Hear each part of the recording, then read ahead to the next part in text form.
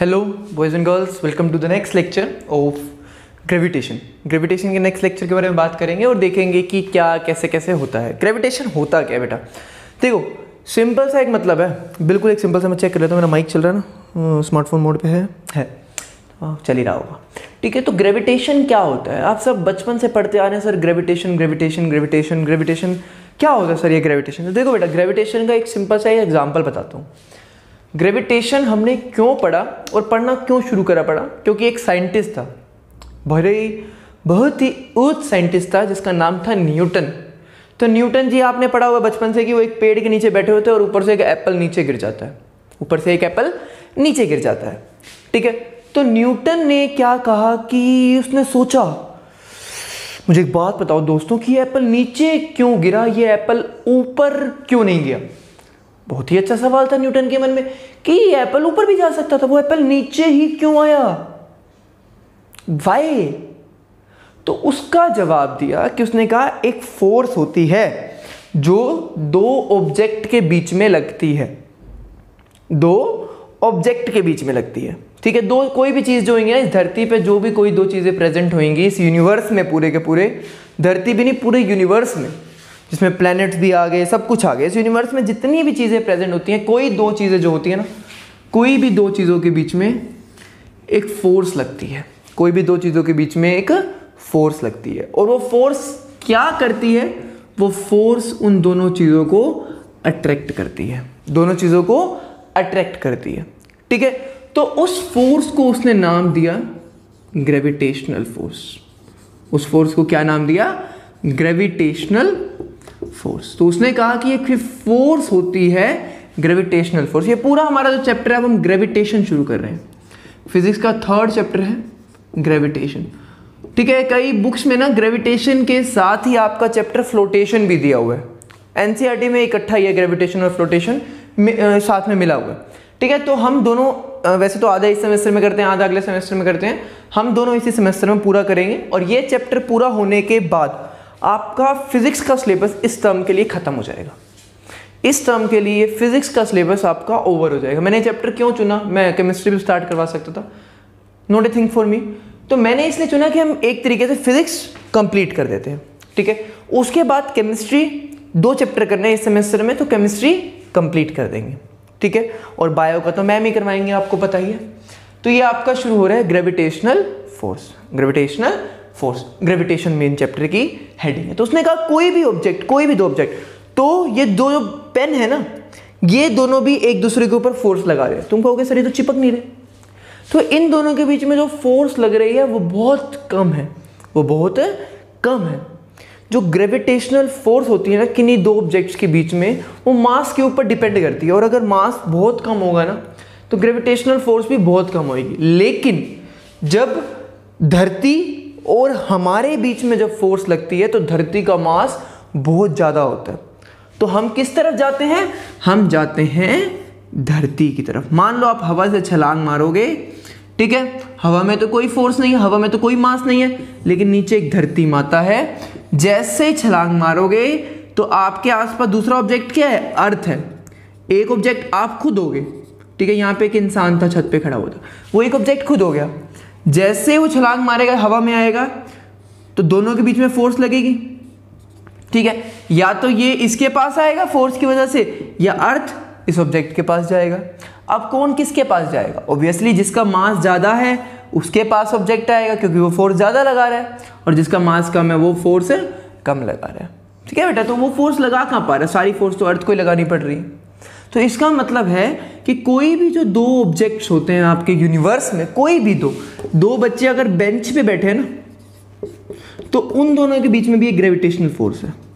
लेकिन वैल्यू बहुत कम है। अभी मैं तुम्हें बताऊँगा कि वैल्यू क्या होती है, कैसे वैल्यू कम है। तो उन दोनों के बीच में भी फोर्स तो है, लेकिन वैल्यू बहुत कम है। इस वजह से उनको वो फोर्स एक्सपीरियंस नहीं होती। ठीक है बेटा जी? तो ये फोर्स क्या कहती है? डिफाइन क्या है ग्रेविटेशनल फोर्स की? वो देखते हैं, आ जाओ। तो ग्रेविटेशन चैप्टर हमारा पूरा इसी के ऊपर होगा कि जो हम सारी बातें करेंगे धरती से रिलेटेड कि हम धरती पे छलांग मारेंगे, और जो उस ग्रेविटेशन के बहुत अच्छे अच्छे एग्ज़ाम्पल दे सकता हूँ मैं।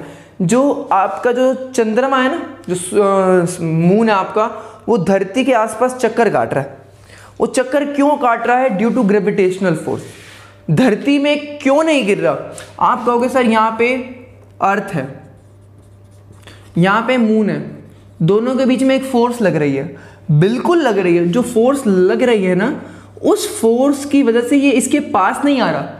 इतनी भी फोर्स नहीं है कि वो उसको अपने पास ले लेकिन उसकी जो पोजीशन है ना, उसको हिला रही है अर्थ कंटिन्यूसली तो वो जो एंगल है ना, वो कंटिन्यूसली बनता जा रहा है कंटिन्यूसली जिस वजह से जो आपका मून होता है वो अर्थ के आसपास चक्कर काटता है। जिस वजह से आपका मून क्या करता है? अर्थ के आसपास चक्कर काटता है। यही कारण है ग्रेविटेशनल फोर्स का।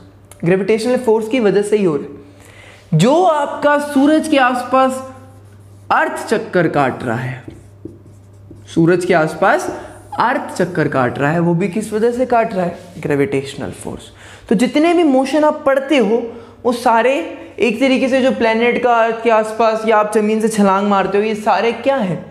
ये सारे के सारे मोशन कौन सी फोर्स कर रही है? ग्रेविटेशनल फोर्स ग्रेविटेशनल फोर्स तो वो उसको अपने पास नहीं ला पाती, इतनी भी नहीं होती, क्योंकि धरती का भी कुछ मास है। और फिर भी सन का मास ज़्यादा होने की वजह से सन उसको अपनी पोजीशन से कंटिन्यूसली हिलाता रहता है, हिलाता रहता है, हिलाता रहता है। इतना हिला देता है कि वो वापस एक ऑर्बिट में चक्कर काट रही है।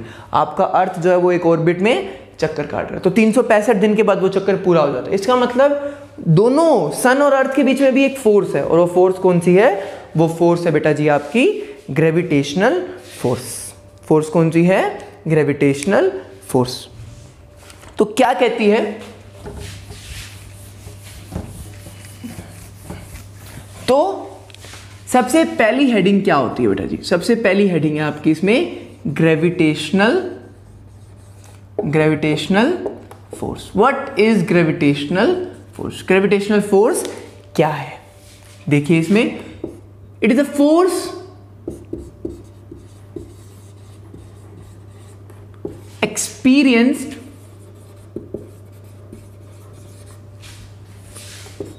by any two objects. Experienced by any two object at some distance apart.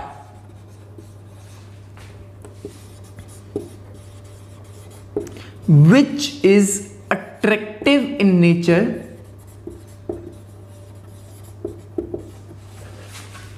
Is called gravitational force देखो बेटा, कुछ अड़ंग बड़ंग ढड़ंग डेफिनेशन है, लेकिन हम आसान वर्जन भी बताते हैं बच्चों को। ये तो वर्जन है जो लैंग्वेज बोलती है the force experience by any two object जो दो ऑब्जेक्ट के बीच में जो फोर्स लगती है, कुछ डिस्टेंस जो दूर होते हैं दो ऑब्जेक्ट्स के बीच में, और वो फोर्स क्या होती है? अट्रैक्टिव अट्रैक्ट होते हैं। कभी रिपल्सिव नहीं हो सकती। आप और धरती और सूरज के बीच में, सूरज, चंद्रमा और धरती के बीच में जो फोर्स है, वो अट्रैक्शन की है।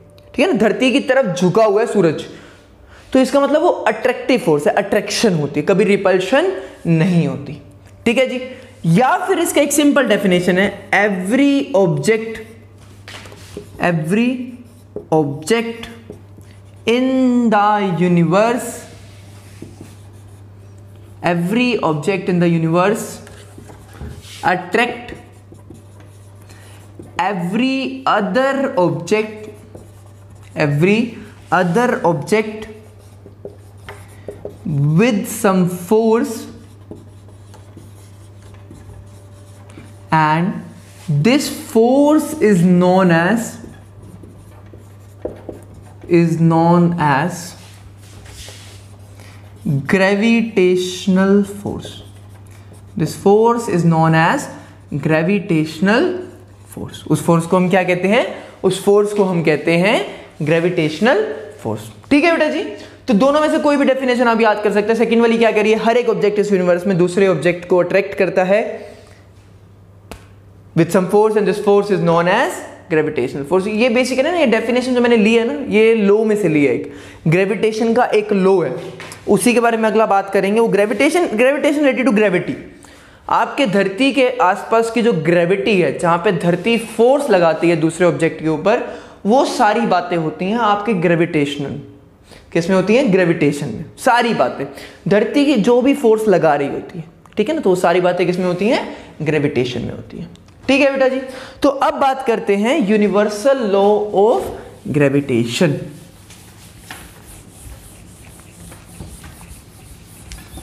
देखो, हर चीज़ का एक लॉ है। लो क्या करता है? लो ना चीज़ों को प्रमाणित करता है वेरीफाई करता है कि ये चीज़ प्रूव्ड है। लो, आप पढ़ते हो ना, जैसे लो दूसरे भी होते हैं कि सौ रुपए का फाइन है, लो में लिखा हुआ है जी। लो में लिखा हुआ है कि आपको राइट टू स्पीच है राइट टू वोट है, वो लो में लिखा हुआ है। लो मतलब फिक्स है कि आप इसको बदल नहीं सकते।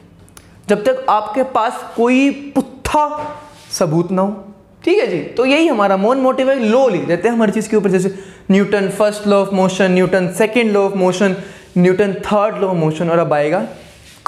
ये भी न्यूटन नहीं दिया था। ये है हमारा बेटा।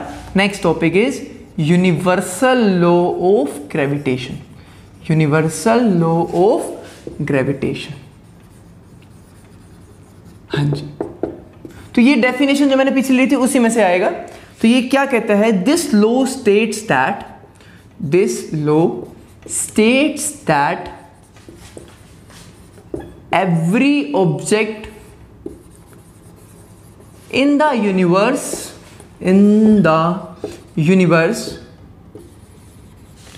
attracts attracts every other object every other object with some force with some force and this force is known as and this force is known as gravitational force. This force is known as gravitational force. उस force को हम क्या कहेंगे?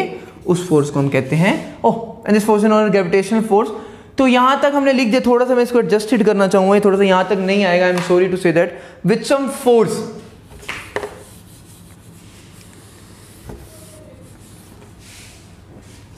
and this force ये जो force है ना, मैं पिछली भावना में चला गया। भावना ने सॉरी भावना मेरी फ्रेंड है। ठीक है, मज़ाक कर रहा हूँ। तो एंड दिस फोर्स जो होती है ना, वो किसके ऊपर डिपेंड करती है? तो फोर्स है, वो दो चीज़ों के ऊपर डिपेंड करती है। दो ऑब्जेक्ट्स है, दो ऑब्जेक्ट्स के बीच में जो फोर्स लग रही है, मान लो एक ऑब्जेक्ट बड़ा एम है एक ऑब्जेक्ट छोटा एम है। बड़ा है मतलब जिसका मास ज़्यादा और छोटा एम जिसका मास कम। और ये दोनों ऑब्जेक्ट जो है, वो कुछ आर डिस्टेंस दूरी पर है। आर डिस्टेंस दूरी पर है। तो ये फोर्स किस किस के ऊपर डिपेंड करते हैं? दिस फोर्स डिपेंड्स ऑन किस किस के ऊपर डिपेंड करती हैं? तो पहला फैक्टर है force is directly proportional force is directly proportional to the product of masses to the product of masses. दोनों जो ऑब्जेक्ट हैं, उन दोनों के जो मास हैं, उन दोनों के प्रोडक्ट के। मतलब F जो होता है, वो डायरेक्टली प्रोपोर्शनल होता है, M into small M capital M into small M capital M एक का मास और स्मॉल एम दूसरे का मास तो दोनों के मासेस के प्रोडक्ट प्रोडक्ट मतलब मल्टीप्लाई के बराबर होता है। तो ये चीज़ ऑब्ज़र्व करी हुई तुम कहोगे, सर, कैसे बनी कैसे बनी? ये सब ऑब्जर्वेशन है। ये सब चीज़ें हमने बड़े सारे फॉर्मूले बनाने की कोशिश करी तो हमने दोनों के मासेस को ऑब्ज़र्व किया और उसके बीच में फोर्स को देखा, कितनी फोर्स लग रही थी। तो हमें ये पता लगा कि दोनों मासेस के प्रोडक्ट के डायरेक्टली होती है। डायरेक्टली और इनवर्सली तुम्हें पता है। इनवर्स और डायरेक्ट तुम्हें पता है। ठीक है? और सेकेंड पढ़ा force is inversely proportional force is inversely proportional inversely proportional to the square of distance between them. इसका मतलब अगर कोई दो ऑब्जेक्ट हैं और उनके बीच में डिस्टेंस आर है तो जो फोर्स होती है, वो आर स्क्वेयर के इनवर्सली प्रोपोर्शनल होती है। आर के नहीं आर के स्क्वेयर के। तुम कहोगे, सर स्क्वेयर कैसे आया? इसका भी एक डिफाइंड लो है। कैपलर एक बंदा था, उसने लो दिया था। उसके बारे में भी डिटेल्ड पढ़ेंगे लास्ट में पढ़ेंगे कि कैप्लर ने कैसे बताया कि आर स्क्वायर के क्यों होती है आर के क्यों नहीं होती इसका भी एक रीजन है। ठीक है बेटा जी, अभी उसके रीजन पे मत जाइए। हमने सिर्फ़ ऑब्ज़र्व करा कि हमने क्या देखा। मैं तुम्हें एक मतलब समझा देता हूँ। मान लो एक ऑब्जेक्ट था तीन। एक ऑब्जेक्ट का मास था दो किलो। डिस्टेंस है दो मीटर। ठीक है? तो कुछ फोर्स आ रही थी, कुछ भी मान लो फाइव न्यूटन मान लो। ठीक है जी। क्या मान ली? फाइव न्यूटन अब क्या हुआ? अब मैंने क्या किया? मैंने डिस्टेंस को बढ़ा के कर दिया चार मीटर। कितना कर दिया? चार मीटर। ठीक है? तो अगर डिस्टेंस बढ़ रहा है इन्वर्सली प्रोपोर्शनल तो फोर्स कम होनी चाहिए। तो हमने ऑब्ज़र्व किया तो मैं फाइव की जगह ना कुछ स्क्वायर वाली वैल्यू लेता हूँ, कुछ देखता हूँ। कुछ भी ले लो फाइव ले लो यार, कुछ मैं स्क्वेयरिंग समझा नहीं रहा अभी। ठीक है? तो फोर मीटर ले लिए डिस्टेंस डबल कर दिया तो फोर्स आधी हो जानी चाहिए थी। जितना, देखो बेटा, साफ़ सीधी बात है, दो ऑब्जेक्ट मानो। ठीक है, दो ऑब्जेक्ट के बीच में एक फोर्स लग रही है। आप दो दोस्तों को मानो, दो दोस्त है, जितना पास में है ना, उतना ज़्यादा उन दोनों के बीच में फोर्स है अटैचमेंट है। समझते हो ना? तो साथ में रहता है, उनके बीच में बहुत ज़्यादा फोर्स है। और जो दूर रहते हैं, उनके बीच में फोर्स कम हो जाती है। अब कई दोस्त हैं स्कूल में साथ में थे, अब बड़े अच्छे दोस्त थे, लेकिन अब घर पे रह रहे हैं, बात नहीं होती और फोर्स ज़्यादा कम हो गई ना, दोनों के बीच में जो अट्रैक्टिव फोर्स थी ना, वो फोर्स अब कम हो चुकी है, क्योंकि डिस्टेंस बढ़ चुका है। ये दूरियाँ, समझते हो कि बढ़ जाएँगी तो फोर्स क्या हो जाएगी? फोर्स कम हो जाती है। डिस्टेंस बढ़ने में फोर्स क्या हो जाता है? फोर्स कम हो जाता है। समझ रहे हो? अब कम तो होता है, लेकिन स्क्वायर से कम हो जाता है। समझ रहे हो? तो जो पहले यहाँ पर डिस्टेंस टू मीटर था स्क्वायर फोर आ रहा था वो फोर का स्क्वायर सिक्सटीन आ जाएगा। तो इसका मतलब अगर डिस्टेंस टू टाइम्स हो गया, अगर डिस्टेंस टू टाइम्स हो गया ना, डबल हो गया तो फोर्स जो होगी ना, वो फोर टाइम्स कम हो जाएगी। Five by four time, five by four हो जाएगी, अगर फाइव थी। समझ रहे हो? थोड़ा बहुत समझ आया, मुझे पता लग रहा है कि अगर डिस्टेंस जो है वो डबल हो गया तो फोर्स कम तो होगी क्योंकि फोर्स जो है वो इन्वर्सली प्रोपोर्शनल है।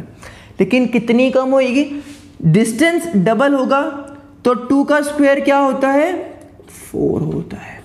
स्क्वायर से कम होती है फोर्स ये हमने ऑब्ज़र्व करा। स्क्वायर मतलब टू टाइम्स बढ़ गया डिस्टेंस तो फोर्स कितने टाइम्स कम हो जाएगी? फोर टाइम्स इसका मतलब जितनी भी ओरिजिनल फोर्स थी, उसका वन बाय फोर हो जाएगा। उसका क्या हो जाएगा? One by four. और इसके बीच में रिलेशन भी आगे बताते रहेंगे। तो ये समझाने की है, अगर डिस्टेंस डबल हो रहा था तो फोर्स चार गुना। अगर डिस्टेंस मान लो या पाँच मीटर हो जाता, तीन मीटर बढ़ जाता, कितने मीटर बढ़ जाता? तीन।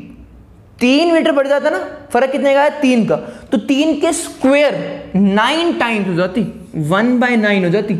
अगर ये छ हो जाता तो चार बड़ा है। तो चार का स्क्वायर सिक्सटीन तो डिस्टेंस बढ़ने से आपका जो है फोर्स में भी चेंज आता है। मेरे ये समझाने का मतलब था और डायरेक्ट इनवर्स चेंज नहीं आता। फोर्स डबल डिस्टेंस आधा। डिस्टेंस डबल फोर्स आधी नहीं स्क्वेयर स्क्वेयर होता है। ये चीज़ याद रखना। क्या होता है बेटा जी? स्क्वेयर होता है। तो एक रिलेशन बताना था मुझे कि स्क्वेयर के इनवर्सली प्रोपोर्शनल होती है, ना कि सिर्फ़ और सिर्फ़ आर के। तो वन बाय आर स्क्वेयर, इसका एक रिलेशन है, वो आपको सिर्फ़ अभी सिर्फ़ ये याद रखना है कि स्क्वेयर के इनवर्सली प्रोपोर्शनल होती है। तो ये पूरा का पूरा आपका था यूनिवर्सल लॉ ऑफ़ ग्रेविटेशन क्या था बेटा जी पूरा? यूनिवर्सल लॉ ऑफ़ ग्रेविटेशन अब इस यूनिवर्सल लॉ ऑफ़ ग्रेविटेशन की यहाँ पे समाप्ति हो गई है। लेकिन इसकी अब हम डेरिवेशन करेंगे। जैसे आपकी याद करो सेकेंड लॉ मोशन में डिफाइन तो करी थी ना?